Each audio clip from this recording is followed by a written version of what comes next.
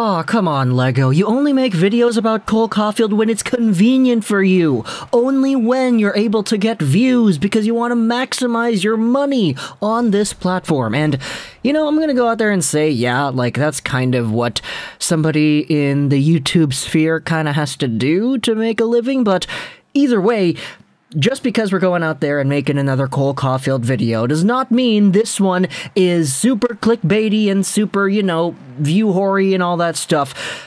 What we're talking about here is so mind bogglingly great that I feel like it's only appropriate to go out there and chronicle what's going on every step of the way. Because when it comes to the Montreal Canadiens and when it comes to Cole Caufield, boy oh boy, did Martin St. Louis have himself a plan. That honestly, like, looking at it now in hindsight, it looks like a very, very fantastic plan, and probably what the Canadiens should have been doing this entire time under Dominic Ducharme, except that's not what happened. They played so many games under Ducharme, now he is gone. And so when you take a look at how the Montreal Canadiens have been playing as of late, they won their first two game streak this season with wins over St. Louis and New York. You also had yourselves Toronto yesterday, 5 2. The first three game winning streak the Habs have had this entire season after going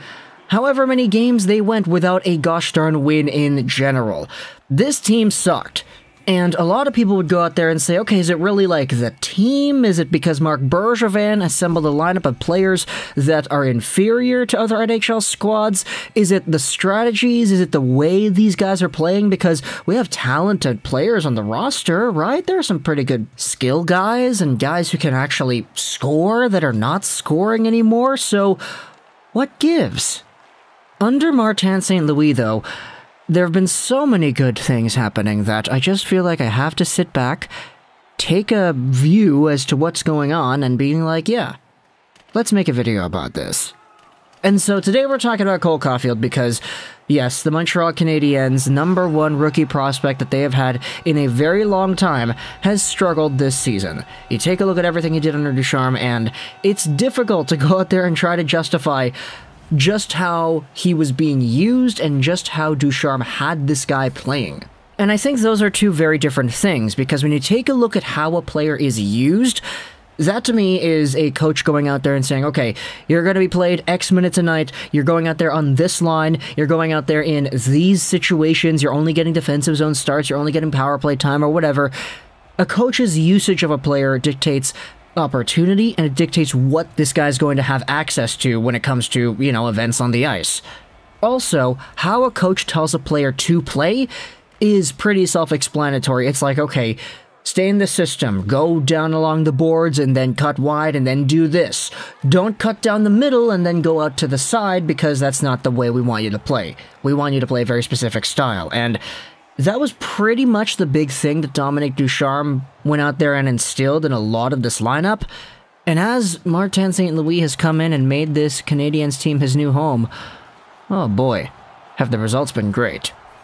Cole Caufield, in six games for the Montreal Canadiens under Martin St. Louis, has eight total points. And if you do the math on that, okay, Caufield right now, 16 points, 36 total games played.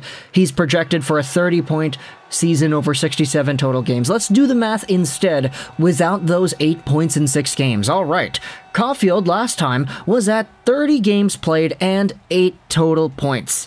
Do the math on this season. 30 divided by 8, or excuse me, the other way around. 8 divided by 30, multiplied out by 67, he would have been on pace for 18 total points. Whereas now, with his current pace, including the St. Louis games, he is on pace for 12 more. And just watching the Montreal Canadiens go out there and play, just watching Cole Caufield go out there and actually get some offensive flexibility, you can see why he's going out there and producing a lot more. The two goal game against St. Louis, the three point night yesterday against the Toronto Maple Leafs. Just seeing Cole Caufield and Josh Anderson going out there together now, they're making plays that a lot of Canadiens fans watch and they say, okay, that was great, but where the hell was that the first however many games of the year? What happened? Where were these offensive rushes? Where were these odd man rushes? And where were these one timer snipes cross crease On the rush, Anderson down the right wing sends it across to Caufield, who one times it in, and he goes far side too. How beautiful is that?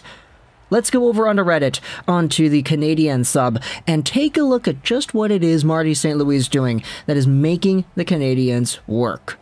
Can someone who really understands systems versus concepts explain the real difference and change between Dom and Marty St. Louis? Asks Hold Unpopular Opinion. I watch hockey, I play casually, but I don't understand what exactly Dom was trying to do that made us so bad, and also what makes us look so much better under MSL. Darth Lord Donkey goes out there and he says this. The biggest difference I've noticed is with wingers and defensemen, under Ducharme it seemed like they were taught to maintain solid positioning and always be available for help. The problem is it neutralized one of Montreal's biggest strengths, which is speed from the wings, and it was forcing the Canadiens to play a dump and chase style of game. This relied on puck possession time, and the problem is the Habs were poor at transitioning the puck and rarely got offensive time. The defenders always seemed hesitant to join the offensive play as they were seemingly taught to protect the boards, which is conventional for a team that emphasizes puck possession, which Ducharme seemingly wanted. Under Martin St. Louis, he has essentially loosened the structure, and you've seen some wingers cheating a bit in the defensive zone, which has created more odd man rushes, but also greatly improved the neutral zone transition game. More defensemen have been engaged within the offensive zone too, and you'll notice Kulak, Petry, and Wideman especially being involved within the play.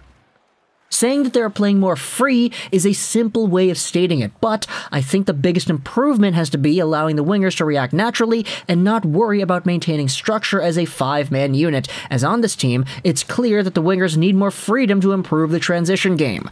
Here's the real kicker, though. An underrated part of the Habs' problem this year is losing guys like KK, Danault, and Tatar, who were all great in transition.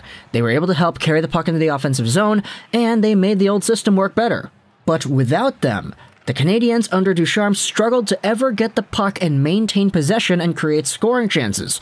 The easiest way to overcome this is by doing what St. Louis has done, and that's easing off the system entirely and relying on natural instincts.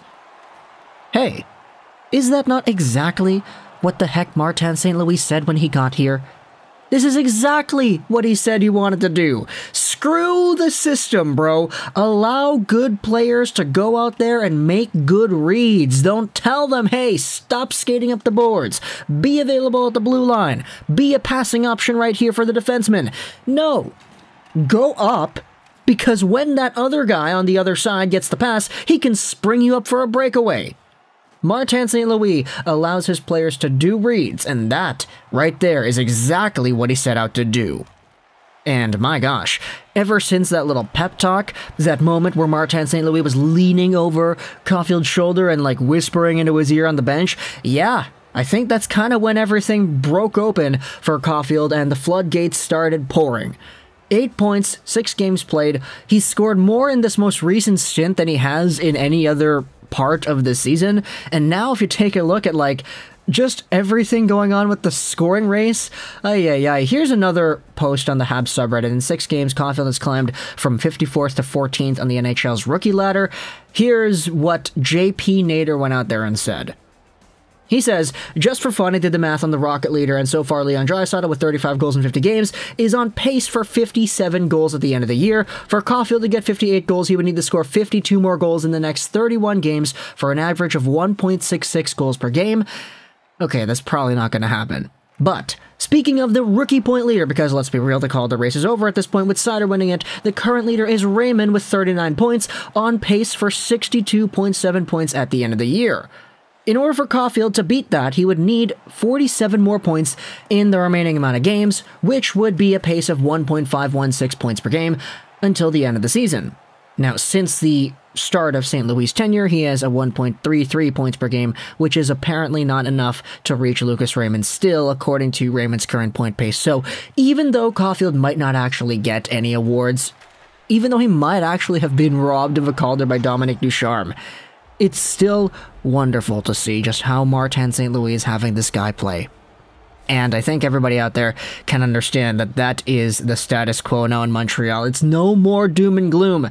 Sure, you guys kind of want to lose more because you want a draft pick and you want a great player at the top of the 2022 selection, but you know, whether it's first, second, third, you're probably gonna get a great player. You can go ahead and watch all the Why I Want videos if you want to see these scoops on them.